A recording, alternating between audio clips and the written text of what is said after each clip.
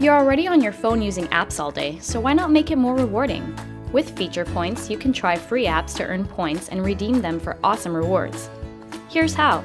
Go to featurepoints.com on iPhone or Android and type in your friend's referral code to earn bonus points. Next, choose an app to download and try it for a couple of minutes. You'll earn points for every app you try, which you can redeem for rewards. You can earn even more points by sharing your own referral link with your friends. You'll earn half of the points they earn when they try free apps. Feature Points. Try free apps, get rewards.